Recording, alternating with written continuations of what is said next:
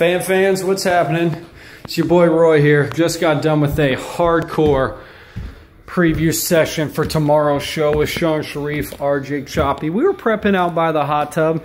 And yeah, uh, it's pretty sweet. Sean Sharif soaking it up in there. The problem is when Sean Sharif gets in that hot tub with his nasty feet, that stuff gets funky, okay? And he walked in there with about an inch of dirt caked onto the bottom of his feet. Guess what? He got out, nothing. I don't know where the dirt went, but I bet Mike Bassick and Jeff Kavanaugh find it somewhere when they jump in there here in a week or so.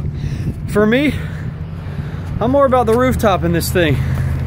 Look at the view right here. Nice little patio. What's that? Oh yeah. It doesn't look like it. That's a fireplace. I'm gonna be making s'mores on that tonight. What's this? This lounger? Yeah, that might be where I sleep, I don't know. It's like 60 degrees here in California, so it's pretty awesome at night, but the best part, I think, is this unbelievable view. Check this thing out.